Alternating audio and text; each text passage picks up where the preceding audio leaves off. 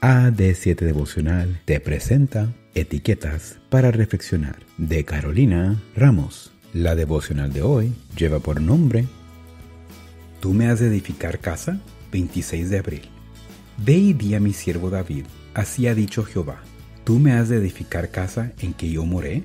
Ciertamente no he habitado en casas desde el día en que saqué a los hijos de Israel de Egipto hasta hoy, sino que he andado en tienda y en tabernáculo, y en todo cuanto he andado con todos los hijos de Israel. He hablado yo palabra a alguna de las tribus de Israel, a quien haya mandado apacentar a mi pueblo de Israel, diciendo, ¿Por qué no me habéis edificado casa de cedro? Segunda de Samuel 7, 5 al 7.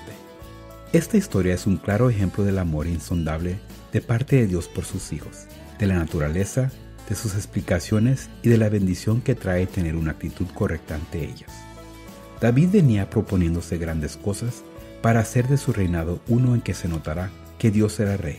Había traído nuevamente el arca y tenía planes de traer el resto de todo lo que estaba en el antiguo tabernáculo a Jerusalén, a la que había construido como capital de su reino y donde había construido su palacio. Su intención era edificar un templo para demostrar su aprecio por la presencia divina.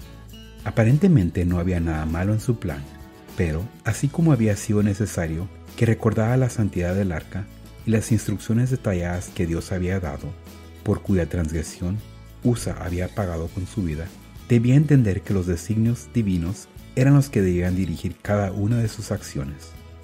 Al hacerle esta pregunta, Dios no se está burlando de él ni estaba buscando dinagrarlo, sino recordarle que él ya había derramado mucha sangre y participado en muchas guerras.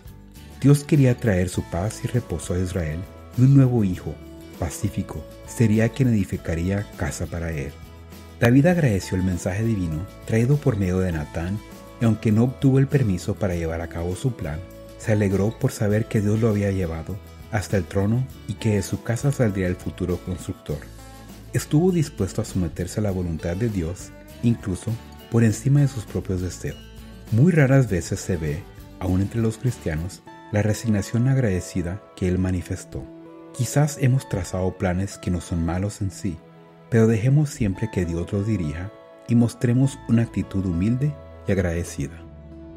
Gracias por escuchar. No olvides que puedes interactuar con nosotros a través de nuestras redes sociales en Facebook, YouTube e Instagram como AD7 Devocional. Chao.